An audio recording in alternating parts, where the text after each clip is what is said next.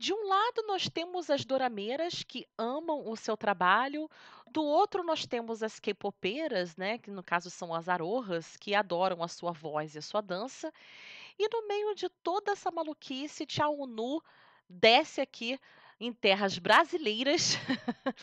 é, é assim, gente, enfim, eu vim falar aqui desse assunto que vem abalando a Dramalândia e as K-popeiras brasileiras aqui. Esse assunto vem dominando o Brasil nos últimos dias.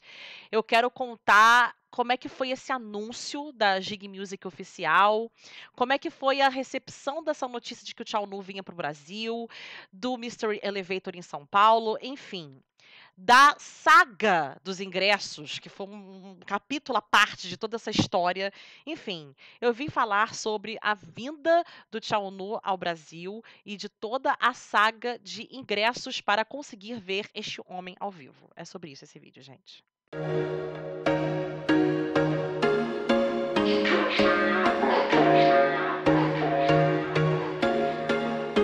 Olá, galera, tudo bom com vocês? Aqui quem fala é Gabriela Ponte, mais conhecida como Cine Rock Girl. E hoje vim falar do nosso queridíssimo Tchau Nu, né? Que resolveu vir pro Brasil, assim. Ah, vou pro Brasil. Aí ele vem. é, como eu já falei até nos vídeos que eu vou deixar aqui no, nos cards, tá? Eu falei num vídeo aqui anteriormente.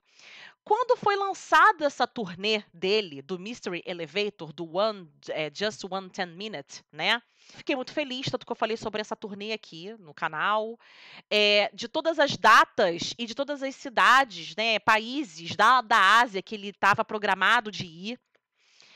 E quando começou o burburinho de que muito possivelmente o Tchau Nu poderia vir ao Brasil ainda esse ano, eu fiquei me questionando se isso é, seria possível ou não, por causa dessas datas fechadas que já estavam acordadas do, na Ásia.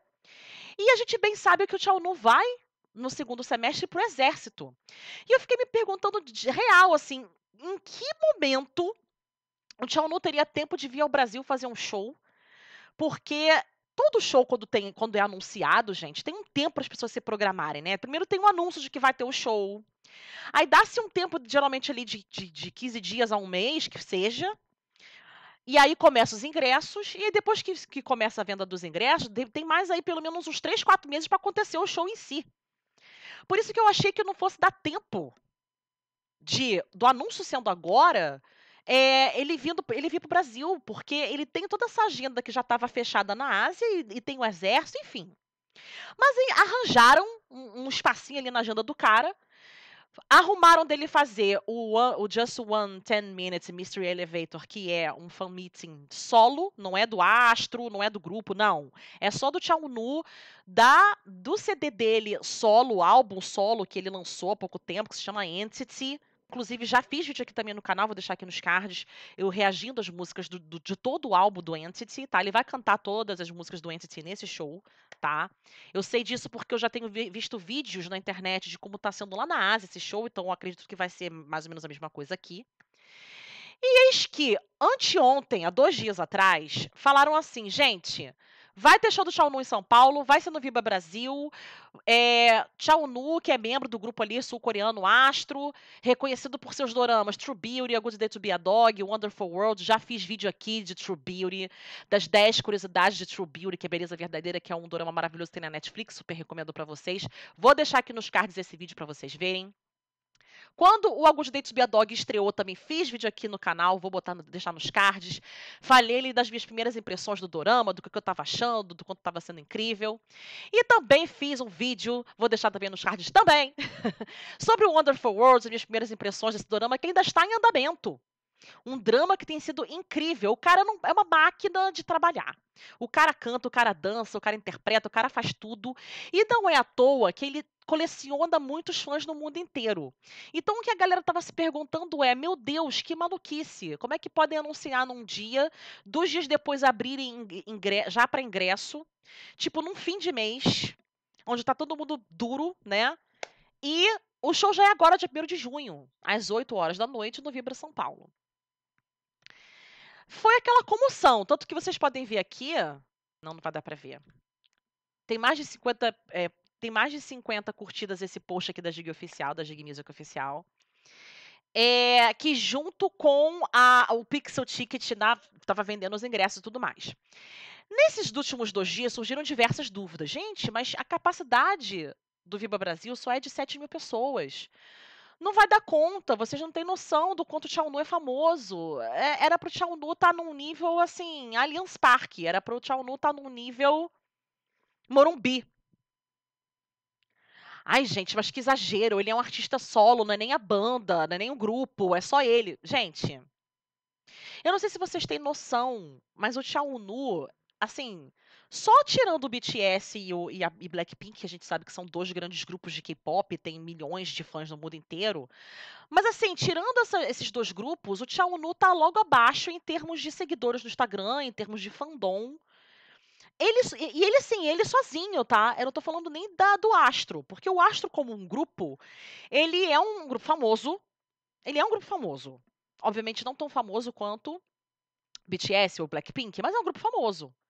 Mas o Tchau Nu, ele é um capítulo à parte. Ele, ele, ele por si só, por fazer os dramas dele, por fazer os, os, as músicas, as OSTs dele, esse álbum solo, inclusive. Cara, ele é o visual do grupo. Ele é, ele é obviamente, o membro mais famoso do grupo. É ele que, que arrecada cada vez mais pessoas para conhecer o astro e tudo mais.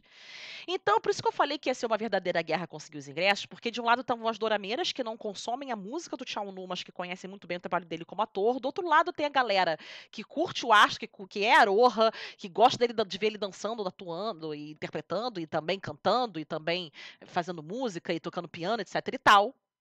E tem pessoas como eu que curte tudo do Tchau Nu desde 2018. Eu sou muito fã do Tchau Nu desde 2018, já falei em diversas vezes aqui, em diversas oportunidades aqui. Então, assim, eu comprei o ingresso do Mumbim em Sanha. Estou com o ingresso aqui até hoje.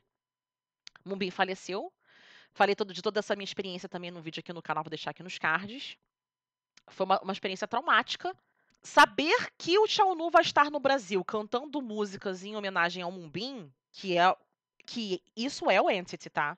O Entity ele é não só um álbum muito pessoal do Tchau Nu, é, com relação a, a, diversas coisas da experiência muito pessoal dele, ele também tem músicas em homenagem ao Mumbim. Vai ter com certeza um momento ali do show que ele vai chorar de repente, se emocionar, porque em todos os shows que ele fez do Mystery Elevator até agora, ele, aconteceu isso.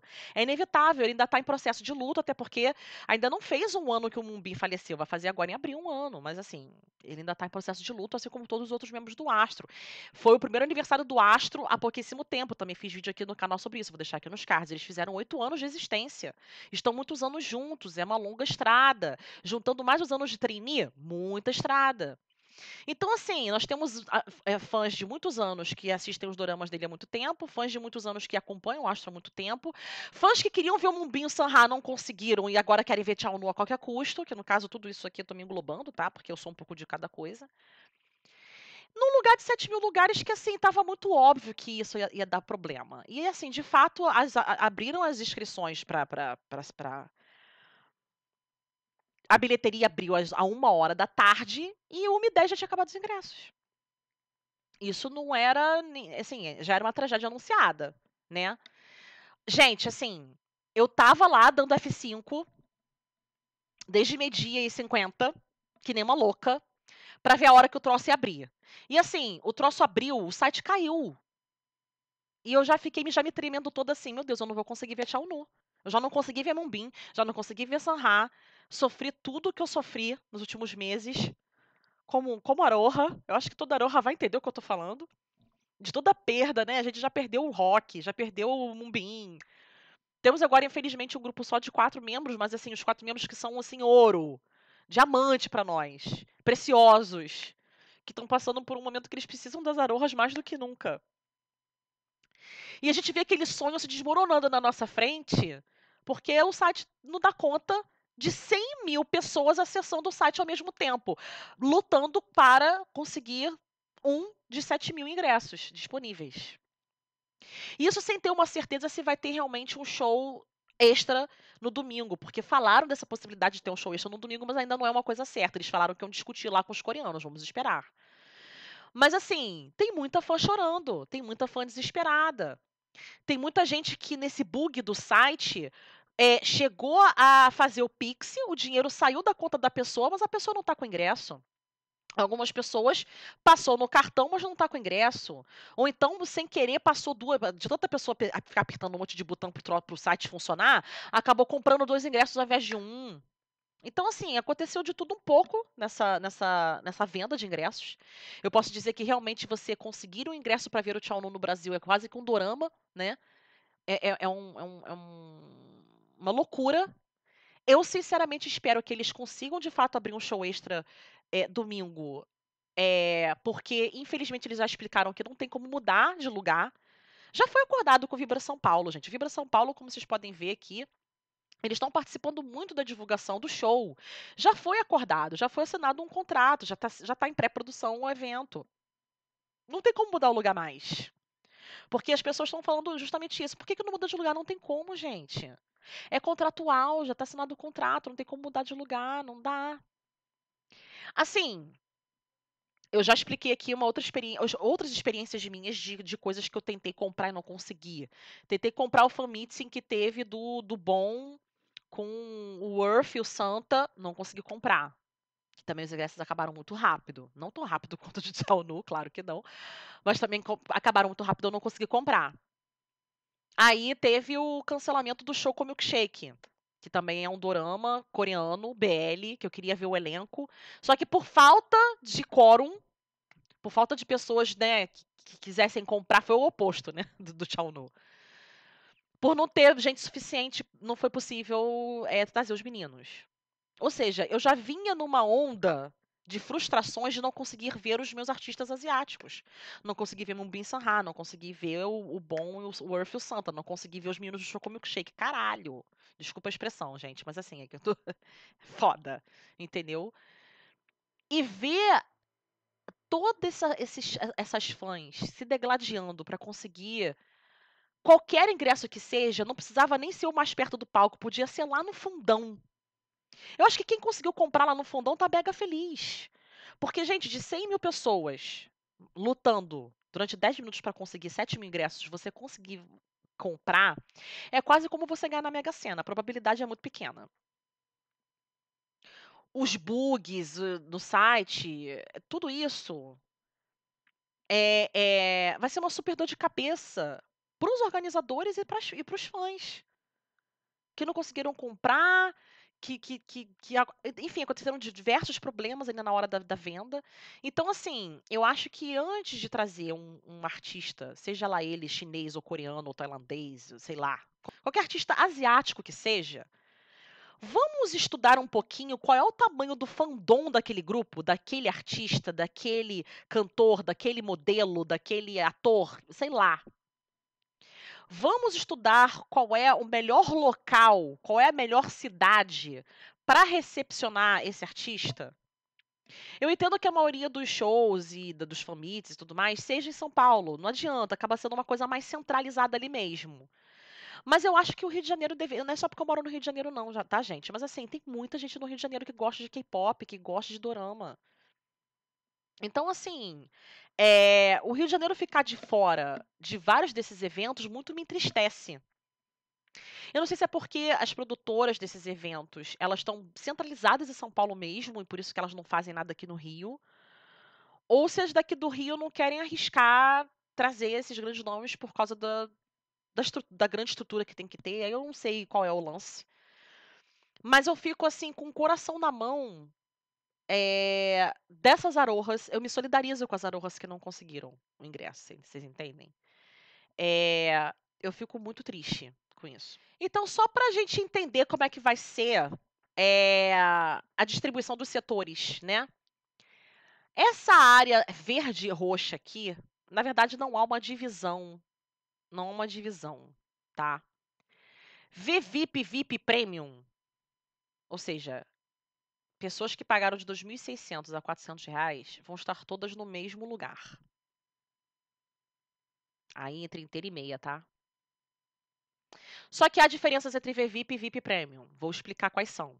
Tá aqui no, no, no post explicando. VVIP tem direito a high-bye session. O que, que é high-bye? É o ator dar tchau para você, assim, a alguns metros de distância.